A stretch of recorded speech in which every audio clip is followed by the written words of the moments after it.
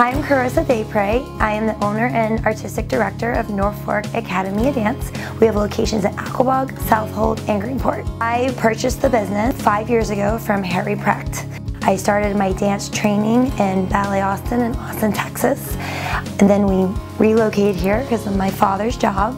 And um, I was a student of Mr. Precht. I started in 1994 and would dance with him for until my senior year went to New York. Um, I studied arts administration at Baruch College. He showed me all the ropes. I was always interested in being a dancer, but he made me interested in being a teacher.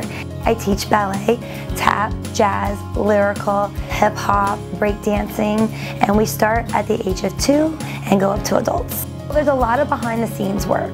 We come in, we answer all of our phone calls and all of our correspondence. In the afternoon is when our clients come in and our classes start. We always start with our warm-ups, progressions across the floor, and then we usually end our class with some type of combination.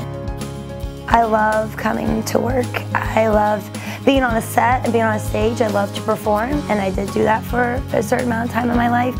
But I really enjoy teaching and seeing the kids learn and, um, you know, watching them from day one to the to our end of our recital or our annual showcase.